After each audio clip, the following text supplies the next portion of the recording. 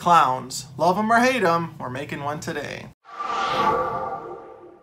Hey everyone, Ace of Clay here, and welcome to another video. This one is particularly special because so many of you went on this clown journey with me. A few days ago, I asked you to submit your clown artwork to me, and I will be displaying all of it at the end of this video, so stay tuned for that, you don't want to miss it. Now this is the part where I would show you my clown collection, but then I remembered I don't have one. Anyway, with all that said, let's make a clown.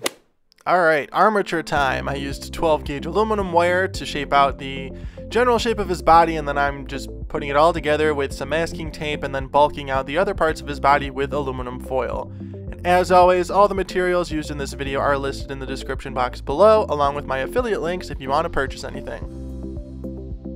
Now once I have his body roughed out, it's time to start covering the entire thing in Super Sculpey. To get these nice even sheets of clay, I just ran it through my pasta maker on the thickest setting. Now I'm just blending everything together and smoothing it all out and getting it ready for some details. Now once I have the body at a good spot, it's time to add the shoes. I'm just shaping those out with some aluminum foil here, pressing them into the clay, and then covering them with Super Sculpey as well. And I'm just working those until they're nice and smooth. Alright, so now I gotta ask you, do you like clowns? Do you hate them? Let me know in the comments. I feel like I know more people that hate them than like them. I personally really don't care, they don't bother me. I actually used to like them a lot when I was really little, and the first picture I ever drew when I was like one was a clown.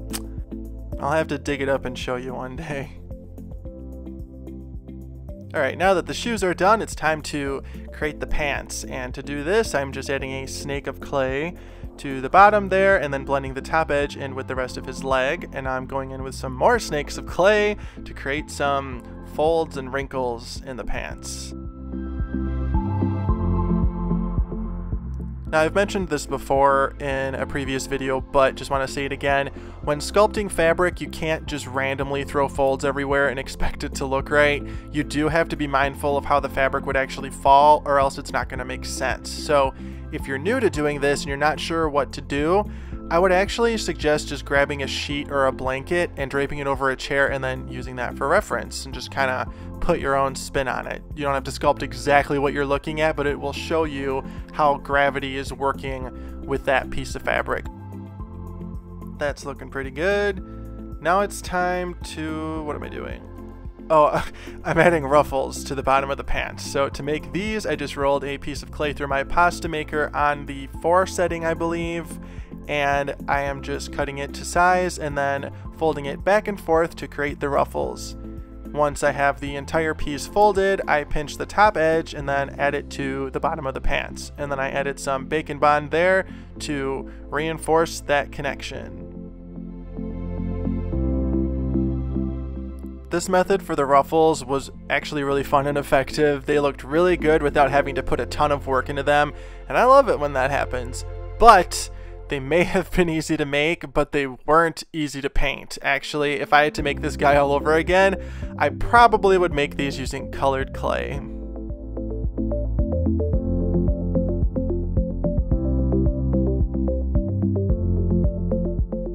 Now I'm just adding some additional details to the bottom of the pants, making them look like they're kind of bunched up against the ruffles, and I'm using my taper tip color shaper.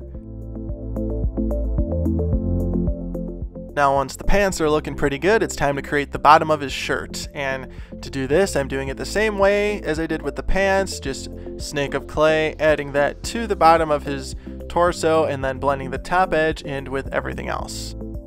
Now for the front of his shirt, I want it to look like the two sides are sort of stretching around his chest like it's a little too small for him and the buttons are pulling, so I created this jagged edge right here. Let's see what a pom-pom looks like on it. Wow, okay, take it off. Next, it's time to create the wrinkles in the front. Again, to make it look like they're pulling, I'm having them stretch outward from where the buttons or pom-poms will be. And this turned out pretty cool. I was happy with it.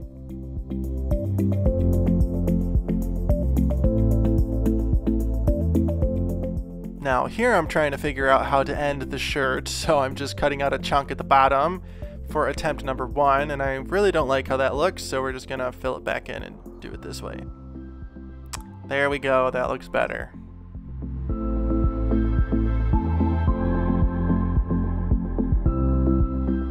And now it's time to repeat this process on the other side.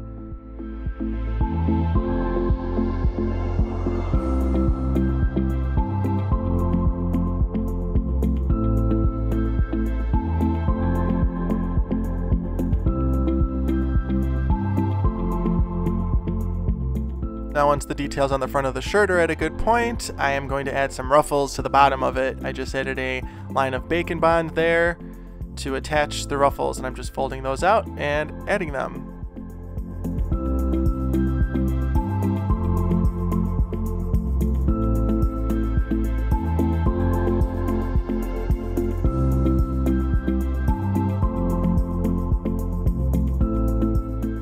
Once all the ruffles are added and that's looking pretty good, it's time to add the pom-pom buttons. Added a little bit of Bake & Bond there and I'm just adding some balls of clay. And the reason I'm putting them on and removing them so many times is because I'm trying to get them to all be the same size. Now it's time to texture the pom-poms. I'm using this tool here for attempt number one, and then I don't really like how that's looking, so I'm using this nice crumpled up piece of aluminum foil, and I really like the texture that this gives. Makes them look more fuzzy.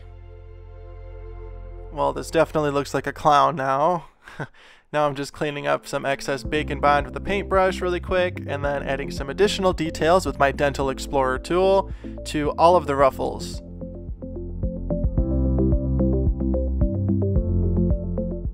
This gives them another level of detail and dimension. Now I'm just going over the surface with the textured edge of my sculpting tool, like so to create a nice fabric look.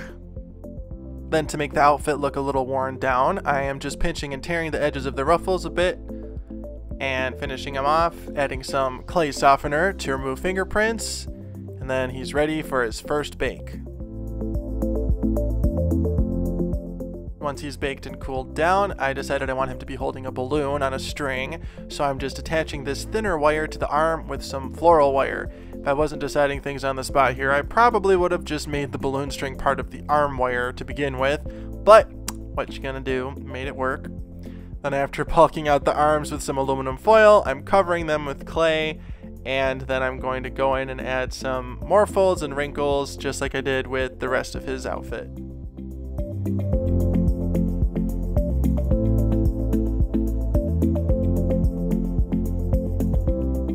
Alright, we're getting somewhere. Now it's time to add those folds and wrinkles here.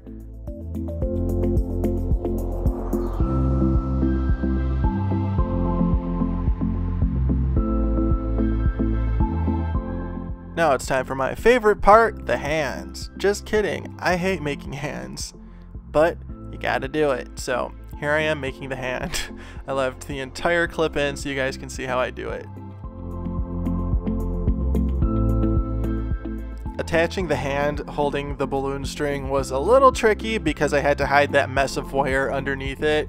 Had I made the string and arm from one piece of wire, this would have been much easier.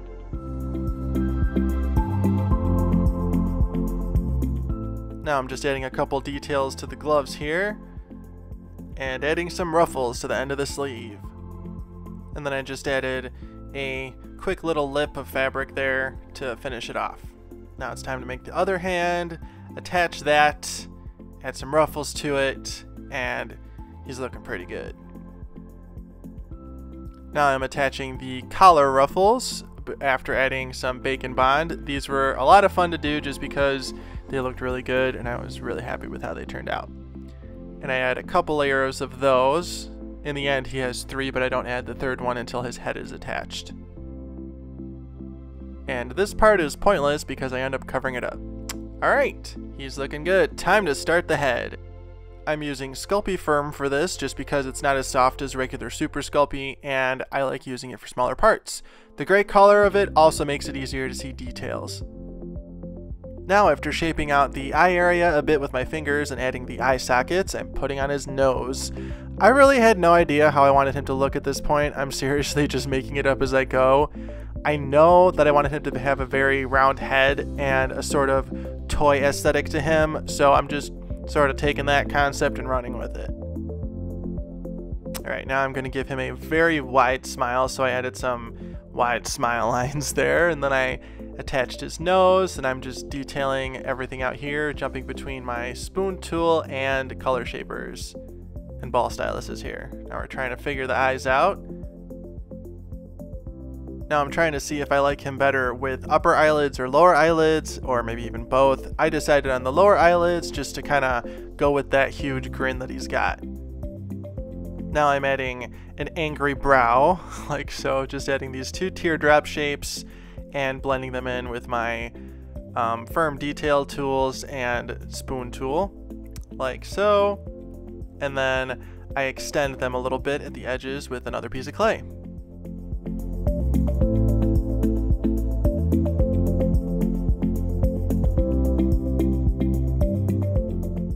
Looks like something. Yay! Now we're just finishing off that other eye area here using my ball stylus. Now we're going to give him some cheeks.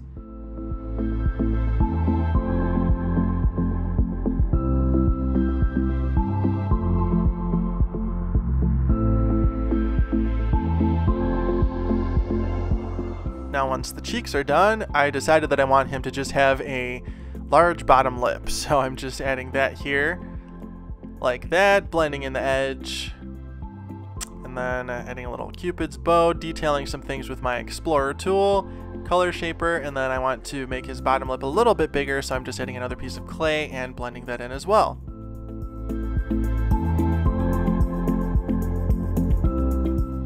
And because I want this to be a creepy clown as if he's not creepy enough already, I'm just giving him some nice little pointy teeth sticking up from that lip there and I really like how these looked. There we go. Alright, now it's time to add some final details to his face using my Dental Explorer tool to create some forehead wrinkles and crow's feet. Now I'm just adding his ears. This is just a flattened ball of clay, attaching it with my medium ball stylus and detailing it with my small ball stylus. After nitpicking things a little bit, it's time to brush the surface with clay softener to remove fingerprints and he's ready to bake. I always pre-bake my heads before I add the hair. Once the head is hardened and completely cooled down, let's make his hair. This is attempt number one. Not sure what I was going for here, but we have this sort of droopy cone shape. Then I try adding two other pieces next to it and seeing if that looks right. Nope. Attempt number two. No. Attempt number three. I don't know what this was supposed to be, some sort of corkscrew thing going on here. And nope. But I did use this one for the base on the final hair. And after smoothing the surface down again, I am just adding some curl texture with my firm detail tool. And I really like how this one turned out, and as I was doing this, I decided to name him Pretzel. This is Pretzel the Clown, everyone. Now I'm attaching his head after adding a little bit of Bake & Bond, adding some Bake & Bond to his neck to give him a little turtleneck, and a third layer of neck ruffles. Now it's time to make the balloon. I will be using Sculpey Ultralight for the first time ever. This stuff is so cool because it really is ultralight and that's exactly why I'm using it so that the balloon doesn't droop. The best way I can describe it is that it has the weight of styrofoam, the texture of a marshmallow, and the pliability of regular clay. I love the way this stuff feels and would love to find an excuse to incorporate it in other sculptures in the future. Now as you just saw there, I created the shape of the balloon in aluminum foil and then covered it with my Sculpey Ultralight and I'm just shaping it out on the top of my pin tool. I also added some cornstarch to my fingertip to help me smooth it. To bake it, I actually kept it on my pin tool and stuck it in an oven-proof coffee mug to prop it up so that it wasn't laying on its side. And then once it's baked, I'm just adding some Bake & Bond and attaching it to the wire. Finishing off the end here, and that's looking pretty good. Then out of the oven, once he's completely cooled down, it's time for paint. I will be using Folk Art Matte Acrylics, and for his head, I'm using the color Boulder.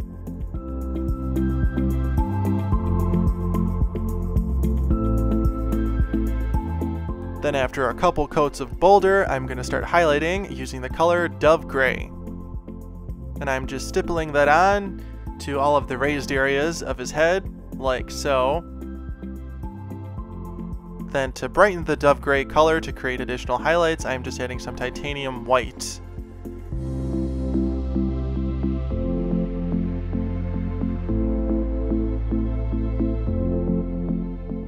Then to darken the recessed areas of his face, I tinted my Boulder color with some pure black. And here I'm going into the eye sockets, and then darkening the wrinkles and smaller details with a fine paintbrush.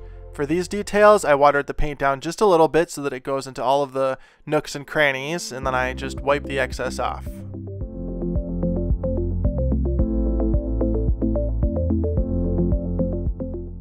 Then to further heighten the details on this guy, I am just adding a couple spots here and there on his face and the back of his head.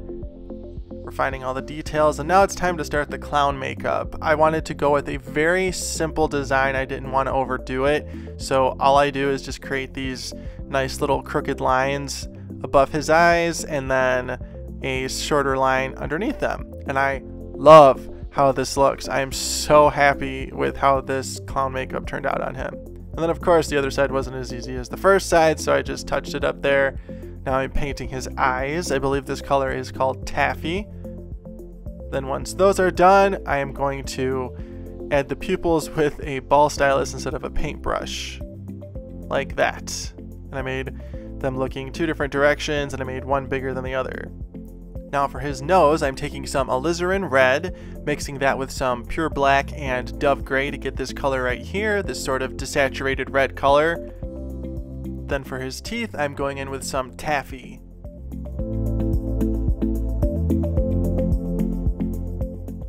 Then for his lips, we're going to use some imperial red.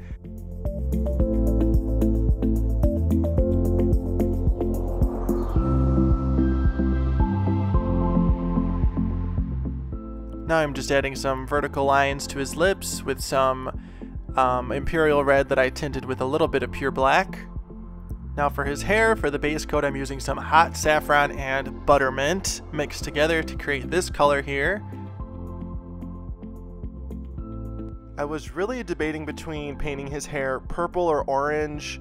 I wanted to do purple, but then I thought the orange would be a really nice contrast against the gray of his skin, so I went with that and I ain't mad.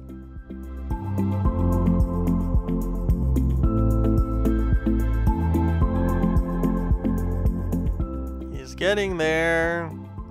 Alright, now to tint the hair a little bit and really bring out the detail, I am using some Imperial Red that I tinted with black and then watered down. And I'm just going over the entire surface like so, and then wiping off the excess with a paper towel.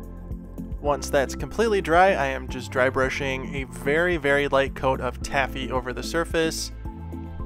Now it's time to paint his clothes. I will be mixing mauve dust and taffy together to create this nice, dull, sort of dirty looking white. Figuring out how to paint this guy took me a second because there are so many ways you can make clown clothes. Ultimately though, I decided on this sort of alternating color palette and I'm really happy with how it turned out. Now for the remaining areas of his clothes, I will be using pure magenta. And that's way too light. Gotta darken it a little bit.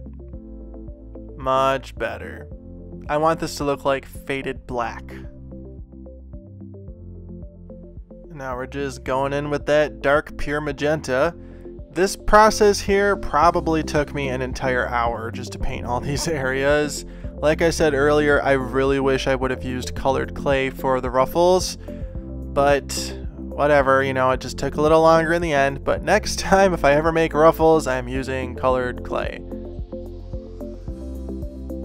Alright, now while I'm finishing up that base coat of pure magenta here, I just want to thank all of you for 100,000 subscribers. We hit 100,000 subscribers. I can't believe it. I never thought this would happen, let alone have it happen so fast. If you look back, January of this year, uh, January 3rd, I had a little over 4,000 subscribers. So this is seriously mind blowing, and it is because of all of you. Thank you so much for watching and being here. And the reason I'm saying this in the voiceover and not the intro or the outro is because I've recorded those before I hit 100K. So I just want to take a second here to thank all of you from the bottom of my heart. This seriously is amazing. Next week's video is going to be really cool. I we're definitely going to celebrate. I have a couple things going on in it, so stay tuned for that.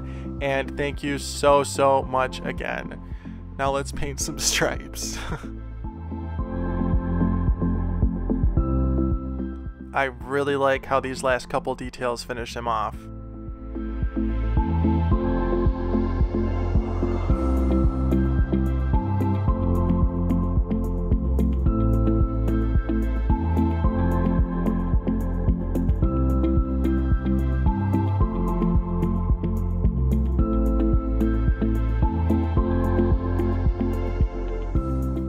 Now to finish off the dark parts of the fabric, I'm adding a little skull pattern. I really like how these contrast the stripes.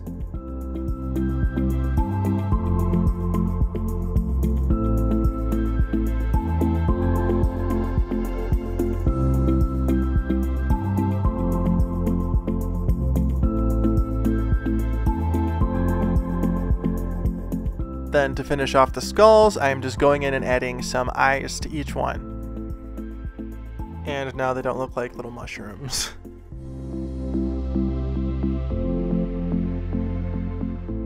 and the last thing to paint is the balloon. I'm going in with some alizarin red. And then for the final steps, I am glazing the balloon in some satin varnish, like so, and then the eyes and lips with some glossy varnish. And he's done! Pretzel the Clown is complete. Let me know what you think in the comments. If you enjoyed this video, be sure to like and subscribe.